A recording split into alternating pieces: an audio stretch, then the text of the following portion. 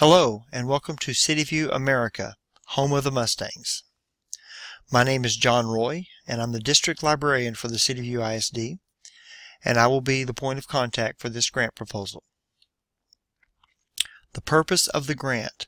The Technology Department at CityView Junior Senior High School wants to improve student performance on the STAAR test and have 85% of all students meet expectations in all core subjects in the 7th and 8th grades by providing Wi-Fi hotspots to give students internet access at home so they can use the devices provided by the school to explore academic content assigned by their teachers. Because test scores on the STAAR test in the 7th and 8th grades have been low in the past few years. CityView ISD has a one-to-one -one program and every student from 5th through 12th grades has a Chromebook to use at school and at home. Over 60% of students at CityView Junior Senior High are considered an economically disadvantaged because they are on free or reduced lunch. Many students at CityView Junior Senior High School do not have internet access at home.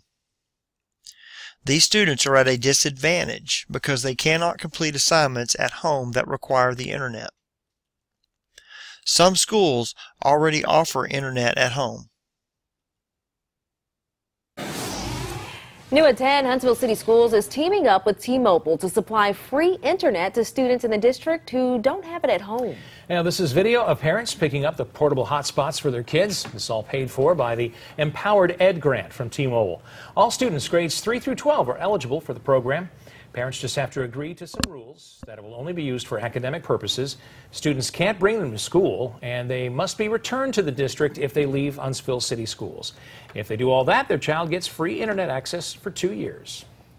It's extremely important. We want all of our students, they have a device that goes home with them, and the device is only as powerful as if they have a connection to the internet. So they'll have access to 24 7, anytime, anywhere um, learning, and that's really our goal. Huntsville City Schools gives out roughly 17,000 laptops for students to take home every year. The district has a goal of handing out over 3,000 hotspots before the sign-up period ends on December 8th. So if your student needs one, make sure to talk to your school's front office. The ability to use the internet at home for schoolwork will give students more time to practice, explore, and learn. This gives teachers the freedom to assign more digital assignments without worrying about whether or not all students have the ability to finish them at home.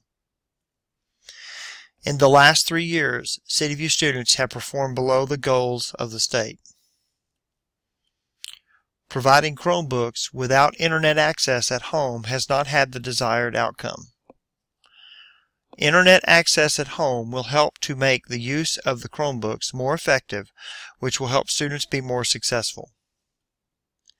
With this technology, we expect 85% of the 7th and 8th grade students to meet the requirements for success for the state. Thank you for your consideration.